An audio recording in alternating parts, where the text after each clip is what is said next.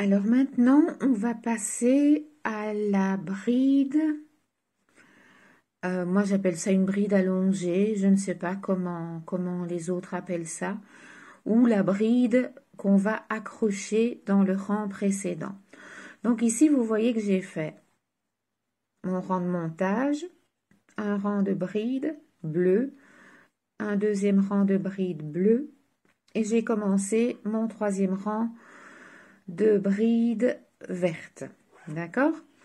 Et là, je vais faire une bride accrochée au rang précédent. Donc, normalement, quand vous faites ça, quand vous faites une bride, vous allez faire la bride en l'accrochant dans le trou supérieur de la bride du rang précédent. D'accord? Ici, vous allez faire la bride en l'accrochant dans le trou du rang encore avant.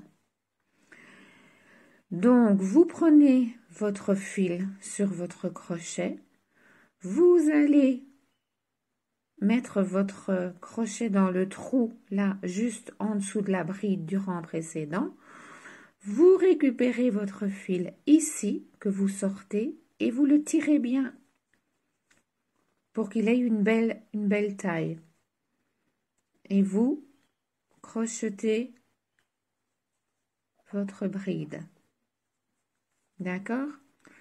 Ensuite, on va faire trois brides normales donc sur le rang précédent normal.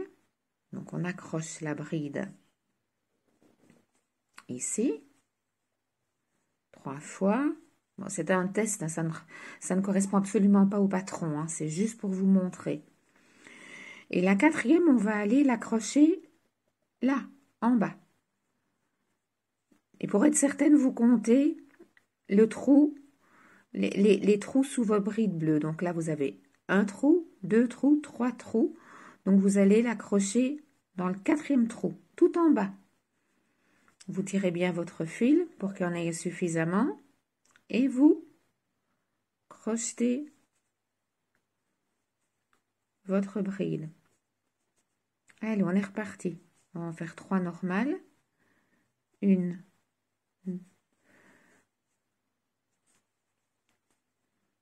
2,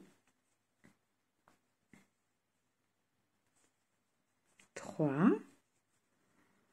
Et maintenant, une bride allonge, enfin allongée, une bride accrochée dans euh, le rang précédent. Donc, vous avez un trou là, deux trous là, trois trous là.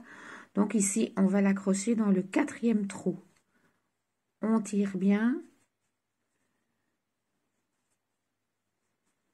Voilà, donc en fait, chaque fois, ça fait un motif comme ça euh, le rang précédent. Ça allonge le fil vers le rang précédent. Je vais finir mon rang. Comme ça, après, je vais vous montrer les brides croisées. Il y a plusieurs façons de les faire. Moi, les brides croisées que j'utilise dans le patron, du moins aussi je ne suis pas un poncho, c'est celle comme je vais vous les montrer. Et donc, un trou, deux trous, trois trous dans le quatrième trou là, tout en bas.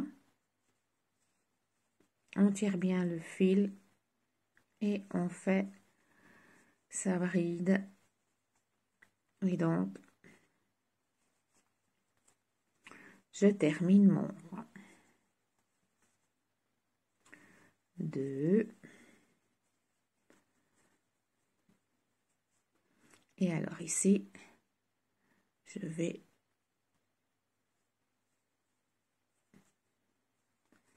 Voilà. Oups. Eh, j'ai raté.